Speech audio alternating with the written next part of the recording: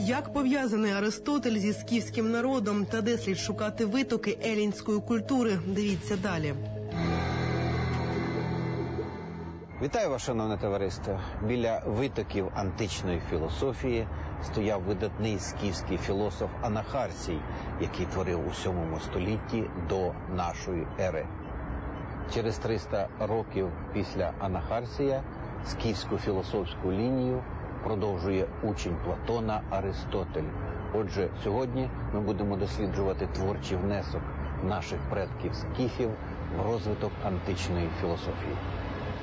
У 384 році до нашої ери в місті Стагирі у Фракії в заможній родині лікарів з роду Асклепідів народжується хлопчик.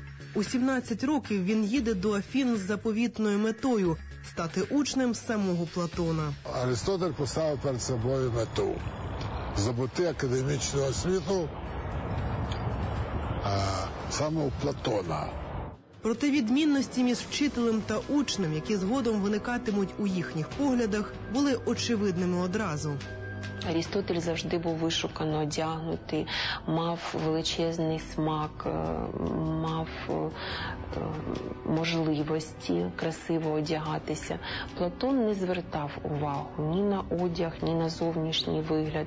І Платона це дратувало. Цей щегольський вигляд Арістотеля. Він вважав, філософ не повинен бути таким. Філософ має бути трохи скромнішим. Кожен з них мав істотно відмінні розуміння природи речей та сутності духовного світу. Платон вважав, що речі, речі і ідеї, ідеї, тобто знання про ці, про ці речі, світ речей і світ ідей, вони, е, вони існують, існують окремо. Аристотель стверджував зовсім інше. Платон не зробив Арістотеля своїм наступником у академії, і той їде за Фін і згодом сам стає вчителем і наставником. Аристотель був достойним учнем свого вчителя Аристокла, але через свій е, різкий характер мав за життя небагато учнів. Проте один з них прославив його навіки. Його ім'я Олександр Македонський. Великий завойовник, між іншим, виводив свій родовід від прабатька скіфів Геракла. Цар Македонії Філіп II так писав у листі до Аристотеля. Я дякую богам за те, що подарували мені сина, але ще більше я вдячний за те, що мій син народився за часів Арістотеля. Сподіваюсь, що твоє наставництво зробить його гідним наслідувати мене та правити македонцями. Філіп II – цар Македонії. Отже, син македонського царя Олександр у 14 років стає учнем Аристотеля. Цар Філіп II будує спеціальне місце для занять Аристотеля і Олександра під назвою Німфей святилище Муз. Займаючись царським сином усіма загальноосвітніми науками, філософ передає йому свої знання з медицини, а також свою жагу до дослідження природи. Під час занять Аристотель дбав, аби Олександр менше сидів, а більше рухався. І завдяки такому навчанню школа Арістотеля отримала назву Школа перипатетиків філософів, що прогулюються. Три роки виховує Арістотель Олександра, навчаючи його всьому, що знав сам. І потім, коли Олександр наслідує трон е, Філіпа, для Арістотеля він був ідеалом правителя. Людина, яка вміла чути і була почута іншими. Після сходження на престол Олександр Македонський звільняє від податків ціле місто Стагір лише за те, що там народився його вчитель Арістотель. Проте палка жага македонського до володіння усім світом розчаровує Аристотеля, адже саме він вчив імператора бути стриманим і знати міру в усьому. Коли почалися завоювання Олександром світу, Арістотель. ем, не поділяв цих поглядів, тому що Арістотель був людиною, е, яка дотримувалась завжди у всьому золотої середини. Він говорив про те, що має бути міра всіх речей. Проте саме завдяки завоюванням македонського і генію Арістотеля культура Греції поширилася в Єгипет, Персію, Середню Азію та Індію. Адже саме Арістотель узагальнив усі досягнення грецьких філософів і представив їх світові. Береги понту Евксінського, землі скіфів, кімерійців та елінів.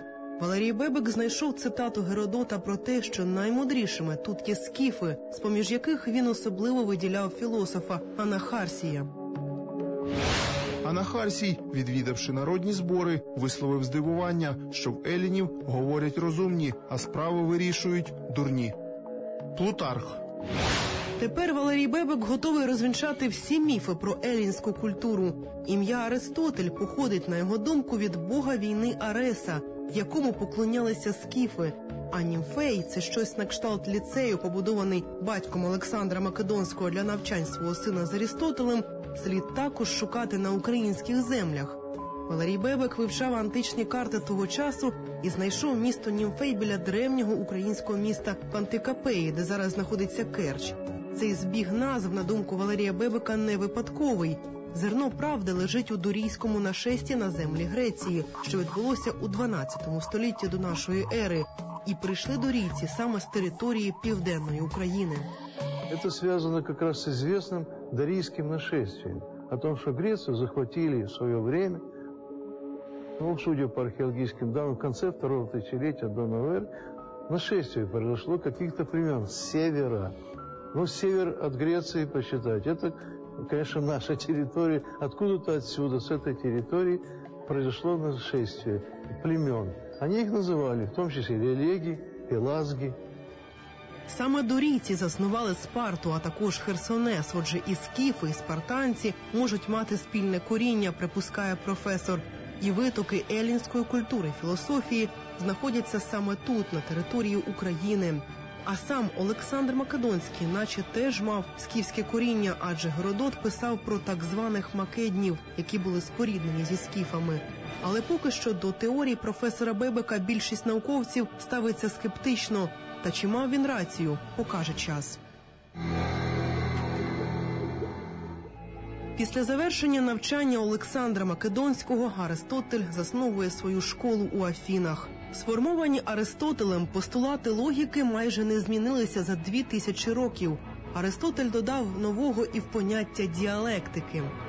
Якщо до цього вважалося, що, що діалектика це мистецтво там вести спір, там дис, дискусію, розмову, то Аристотель виходить з того, що діалектика це вже е, науково-теоретичний, науково-теоретичний спосіб мислення і вирішення практичних, практичних проблем.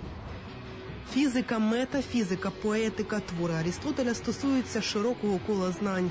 Він вірив у вічність і говорив, що під час знищення чогось одного обов'язково виникає щось нове, і цей процес нескінченний. Отже, шановні друзі, ми з вами з'ясували, що великий грецький філософ Аристотель, так само як і Олександр Македонський, мали скіфське походження. А де насправді була Азія та Індія, які завойовував Олександр Македонський, дізнаєтесь у наступних програмах. Слідкуйте за Тонісом. Далі буде.